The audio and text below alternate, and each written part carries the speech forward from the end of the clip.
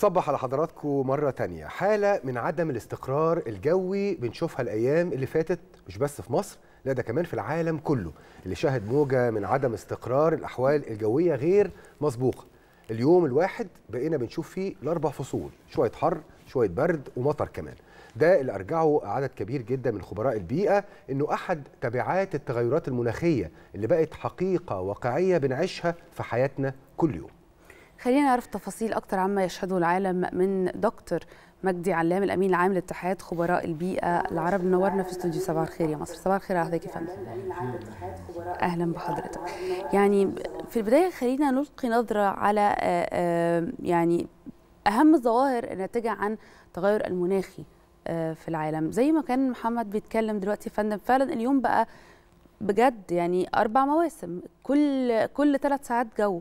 هل يعني خلينا نقول إنه مفهوم حتى المناخ تغير في العالم كله؟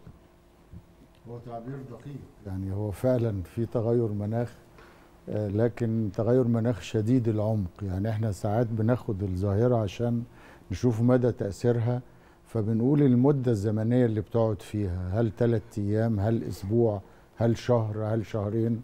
ودي أول حاجة بنقيسها يعني. تاني حاجة بنقيسها تأثير هذه الظاهرة مدى قد إيه؟ هل بيرفع مستوى مياه البحر المتوسط 4 سم ولا بيوصل ل 40 سم لو زاد ذوبان الجليد ل 4 سم يعملوا ارتفاع ميه 40 سم يقوم يغرق الأراضي اللي إحنا عندنا مثلا في مطوبس وفي شمال الدلتا. فتيجي الدولة تروح دافعة 750 مليون دولار عشان تحط الخرسانات الضخمة اللي إحنا بنشوفها دي لأن الشواطئ بتتاكل من شدة الرياح وشدة الأعاصير اللي ما كانتش مسبوقة أو اللي كانت غير مسبوقة في هذا الكلام. العمق بتاعها بيشيل طبقات الرمل تضطر الدولة كل سنة قبل الصيف ترجع الايه الرملة وتحط الصخور الضخمة دي. وبالتالي تغير المناخ أصبح ما يقرب من ظاهرة إحنا بنسميها انقلاب المناخ ال climate shift climate shift ده أخطر بكتير من ال climate change يعني إحنا بنعاني مرحلة تغير المناخ. لكن لو دخل على مرحلة الانقلاب المناخي لا طبعا هتبقى أكثر قسوة. زي ما إحنا بنشوف نسب التصحر عالية جدا. صحيح. الرمال بتمشي الأعاصير بتاخدها. تكون عملت تدمير للجانبين بتوع الزراعة يمين وشمال. الملوحة نفسها في المياه الأبار بتزيد. نتيجة السحب الزائد قلة الأمطار إحنا عندنا الحمد لله يعني حوالي يعني من أول السلوم لغاية العريش في شاطئ على البحر المتوسط ده بيزرع رباني من المطر مش جاي من نهر النيل. اللي جاي من نهر النيل ده إحنا بناخده بالمقاس إحنا مخزنين السد العالي عندنا وكل ما نعوز شوية نسحب مية منها. هل ال ال ال القصور اللي حصل في الشواطئ مكلف؟ نعم مكلف. هل له تأثير بالمناخ؟ ارتباط أساسي بالمناخ. لكن اللي أخطر منها إن أنت تشوفي بقى بعض البيوت بدأت المستوى المية يعلى فيها. فيبدأ الراجل يحط طبقات ردم من الرمال ومن المسلح. فلدرجة في بعض القرى الناس بيقعدوا من الدور الثاني ليه؟ ده, ده بيحصل يعني عفوا المقاطعة يا فندم لأنه كلام مهم جدا وخطير جدا والتعبير اللي حضرتك استخدمته من تغير المناخ لانقلاب. المناخ. هل ده بيحصل بواقع فعلي دلوقتي؟ يعني زمان من من فترة من الزمن كنا بنشوف التغيرات اللي حضرتك بتقولها دلوقتي إنها ممكن تحدث على المدى البعيد أو المدى المتوسط يعني مثلا كمان خمس سنين عشر سنين. دلوقتي ما أصبحتش في المدى المتوسط أو البعيد هو المدى الواقعي الآن. ده بنعيشه حاليا؟ التغيرات الانقلابات المناخية دي بتعيشها أو بيعيشها المصريين دلوقتي؟ إحنا بنعيشها وبيعيشها العالم. م. يعني برضو عشان ما ننساش نتذكر جميعا حجم الحرائق للغابات اللي حصلت في أوروبا. م. وما ننساش إن نهر الراين ونهر الدانوب حصل قصور شديد جدا في المية لدرجة إنه المية كانت تقترب من قاع الأنهار. أنت بتتكلم على أكبر نهرين في أوروبا مثلا. م. حجم الحرائق اللي حصل في كندا وفي أمريكا وفي أوروبا وفي تركيا وفي إيطاليا في 12 دولة أصيبت بحرائق. الناس فاكرة حد بيولعها.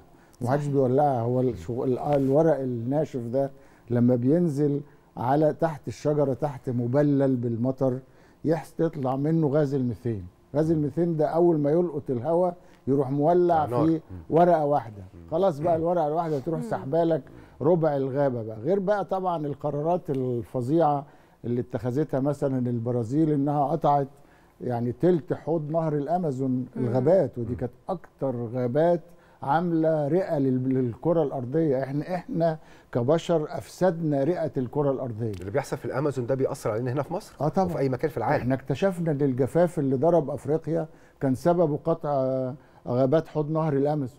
بسببها قطع فين شوف نهر الأمازون؟ في البرازيل. وأنا بكلمك على الصحراء الأفريقية واللي حصل في 12 دولة في أفريقيا تأثروا تأثر كبير جدا فكرة التوازن ال- الجفاف. التوازن البيئي يعني ما كله فعلا زي ما حضرتك تحدثت كل كله هي يعني دائرة كلها متصلة ببعض ده إحنا بنتكلم من حتى النيتروباكترم اللي هي البكتيريا اللي بتطلع صحيح. النشا اللي بتطلع الأكل للناس دي لما إحنا بيحصل هذا الجفاف هذه البكتيريا بتقل يقوم يقل الإنتاج الزراعي نعمل إيه نروح مزودين الأسمدة. نزود الأسمدة يعني بنزود المواد الكيميائية فتفسد أكتر النظم الصحية. وبالتالي هي الناس محتاجة البشرية تحتاج إلى مراجعة النظم الحالية لأنه طبعا حجم الطاقة المستهلكة حاليا غير مسبوقة تاريخيا. يعني إن تبقى تقولي الكرة الأرضية لما بنبص لها على إنها شمعة يعني مولعة كل حتة فيها مولعة في جزء. فالشمعة دي اللي إحنا بن شكلها حلو في الصورة لكن شكلها بقى في أكاسيد الكربون اللي بتطلعها وإنها تعمل لك غلاف زجاجي. هو إحنا لما بنقول الجرين هاوس جازز دي ظاهرة الاحتباس الحراري بنحاول نشرح للناس إن الكرة الأرضية إحنا عملنا عليها طبقة زجاجية غير ملموسة. يعني أنا. مش شايف إزاز لكن نفس الأشعة تحت الحمراء اللي بتسخن سطح الكرة الأرضية ما بقتش عارفة تطلع بره الغلاف الجوي. لانها وهي مش عشان تطلع هتخفف الظاهرة. فبتتحبس زي الطبقات. كل شوية نطلع شوية دخان تقوم تزود الحرارة وإحنا نحبسها فوق سطح الكرة الأرضية أكتر. فيقول لك درجة حرارة سطح الكرة الأرضية زادت من واحد. إحنا بنقول يا رب في 2050 ما تعديش واحد ونص. درجة. إحنا ما بنقيسش درجات حرارة الطقس لا. إحنا. بنقيس كل 100 سنة سخونة سطح الكرة الأرضية. ده فرق كبير جدا. وكل 100 سنة دي كنا بنعتبرها حاجة خطيرة. فدلوقتي إحنا بنتكلم على 2050 خايفين في 2050 نعدي الواحد ونص درجة. لو عدينا واحد ونص درجة يبقى المناخ بقى فعلا تحول من يعني تغير مناخي إلى انقلاب مناخي. طيب خلينا نعرف من حضرتك يا فندم آخر تقارير الهيئة الدولية المعنية بالمناخ وتحذيراتها وأكيد بيبقى فيه توقعات طبعا هو في كوب 27 في مصر وده كان من أحسن وأعظم المؤتمرات المناخ اللي عقد في مصر لأنه الحقيقة الرئيس السيسي بنى مدينة كاملة في كوب 27 وكان انبهار شديد طبعاً. طبعا. للزوار وكانت أكبر كم من الرؤساء والملوك في الحضور يعني في تاريخ مؤتمرات المناخ يعني أنا يعني من 1992 وشارك فيها كان أكبر مؤتمر للمناخ اللي عقد في كوب 27 في مصر. كانت من أهم توصياته ودي اللي عاملة أزمة حتى الآن يعني إن إحنا ننشئ صندوق اسمه صندوق تعويض الخسائر والأضرار. ليه الخسائر والأضرار؟ إحنا في أفريقيا لا عملنا انبعاثات ولا لوثنا حاجة. وانبعاثات قارة أفريقيا كلها مش جايبة 4% صحيح. أقل انبعاثات في العالم كله. آه ومصر مش جايبة 9 من 10% ومع ذلك كل الآثار السلبية جت لأفريقيا بما فيها مصر بما فيها دول أفريقيا كلها.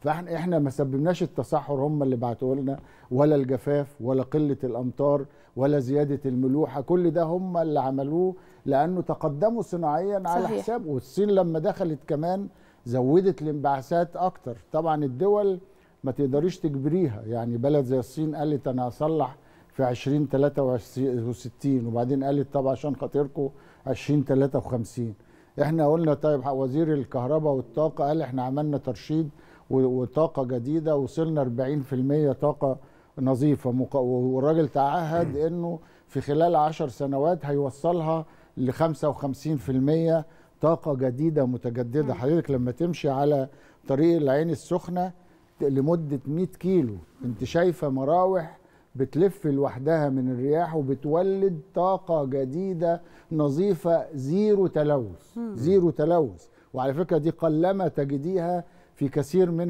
من البلدان يعني. وهذه الطاقة الجديدة والمتجددة هي دي اللي إحنا عمالين نهاتي مع حضراتكم والإعلام. يا جماعة خفوا الفحم يا جماعة خفوا البترول. طبعا من أحسن الحاجات إن مصر بدأت دلوقتي تخش في الهيدروجين الأخضر وبدأت تستفيد من المية بقينا نفصل نفصل المية إلى هيدروجين وأكسجين. الأكسجين ناخده نستخدمه والهيدروجين ناخده نستخدمه في طاقة نظيفة وجديدة ومتجددة. هم لازم يتقالوا الثلاثه مع بعض. طب يعني استراتيجية مصر معروفة للطاقة المتجددة ومن بعد كوب 27 في شرم الشيخ كمان فكرة أو السؤال اللي بيطرح دايما فكرة التمويل أو شعور الدول العظمى زي الصين والولايات المتحدة الأمريكية اللي هم أكثر دول في العالم مسؤولين على زيادة درجة حرارة الأرض بمسؤوليتها البيئية تجاه العالم كله. حضرتك متابع لكل مؤتمرات المناخ بعين الرقيب وبعين المتابع إلى أي مدى في شعور حقيقي تستشعره الدول العظمى الصناعية بمسؤوليتها وإزاي ممكن تساعد الدول النامية في إعادة التكيف البيئي إنها تعمل مشروعات تعيد التكيف البيئي وتواجه تداعيات التغيرات المناخية هي هي بدأت برضه عشان نبقى منصفين بدأت كثير من الدول إنها تحط برامج لما يطلق عليها أول برامج التأقلم وبعدين التكيف, التكيف. وبعدين تعمل التخفيف م. يعني هم الثلاث مراحل تقول أنا هلتزم إن أنا هتأقلم مع المناخ زي ما هو كده. وبعدين يقول ده المرحلة اللي جاية أنا هحول شوية من الفحم بتوعي إلى طاقة شمسية وطاقة رياح.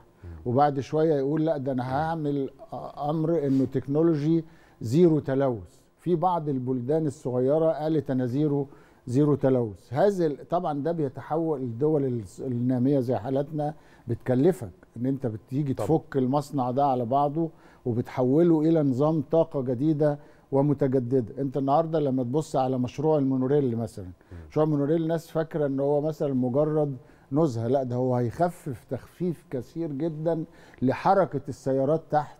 وبعدين أنت ماشي على قطار مش واخد منك مساحة من الشارع. يعني أنت نفس الشارع بتاعك القطار بتاعك ماشي على عواميد و zero تلوث كله بالكهرباء.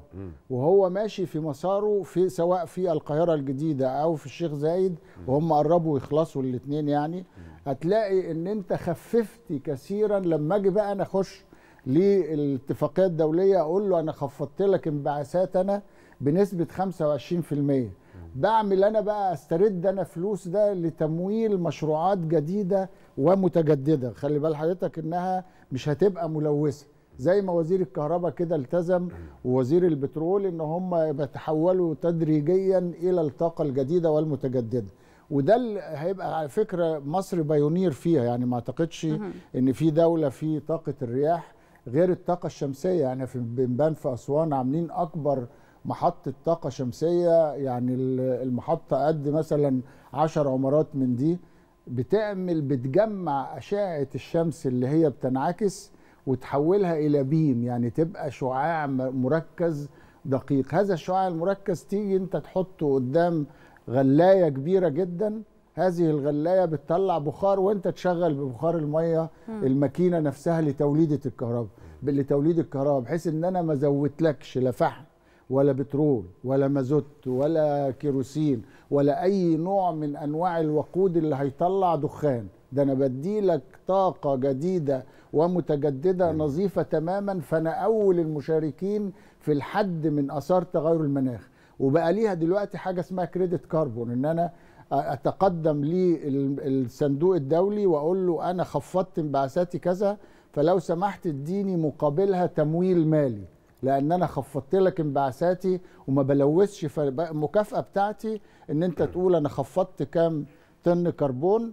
ومقابله أنا بتقدم باخد فلوس من صندوق الخسائر والأضرار اللي موجودة في الاتفاقية. أعتقد يا دكتور زي ما حضرتك ذكرت يعني دلوقتي خلاص البشر حقيقي بيجنوا ثمار وبيحصدوا ثمار ما جنوه وما فعلوه في الكرة الأرضية وكلنا يعني مفيش حد الحقيقة في مأمن أو في معزل عما يحدث الآن وزي ما حضرتك تحدثت إحنا يعني ما بين التغير المناخي أو الانقلاب المناخي ولازم العالم كله يتكاتف ويتعامل مع هذه القضية ويأخذها على محمل الجدية بشكل كبير جدا. بشكر حضرتك طبعا جزيل الشكر دكتور مجدي علام الأمين العام لاتحاد خبراء البيئة العرب. نورتنا في صباح الخير يا مصر. شكرا.